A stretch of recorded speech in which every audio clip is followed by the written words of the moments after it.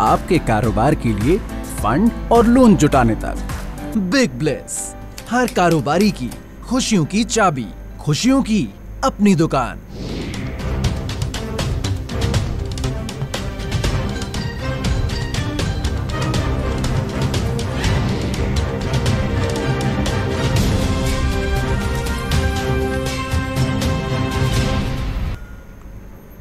खाद्य पदार्थों की महँगाई आसमान पर है।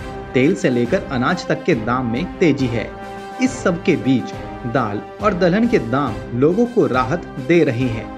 बीते वर्ष में महँगाई के लिए परेशान कर रही दालें अभी एक रेंज में बिक रही हैं। All India dal mill association के अध्यक्ष सुरेश अग्रवाल के अनुसार ज़्यादातर दलहन अभी समर्थन मूल्य से नीचे बिक रहे हैं।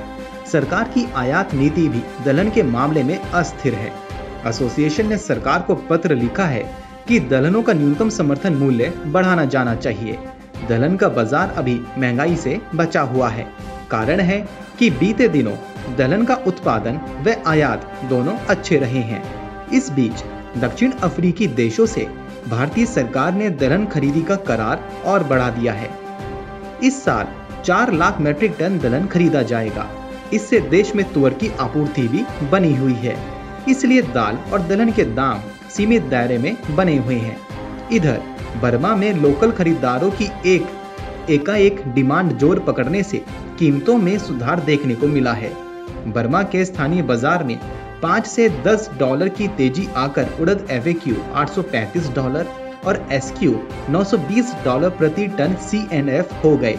दरअसल निर्यातकों को भारत में दलहन निर्यात के लिए बिलिंग की तिथि 31 मार्च 2022 तक तय की है। इस वजह से वहाँ तेज़ी को सपोर्ट मिल रहा है। Report Market Times TV. Fresh दूध और सब्ज़ी के लिए अब घंटों इंतज़ार नहीं बिग ब्लिस पर ऑर्डर करें और 10 मिनट में पाएँ अपने घर फ्रेश दूध और सब्ज़ी। तुरंत डाउनलोड करें बिग ब्लिस ऐप। खुशियों की अपनी दुकान।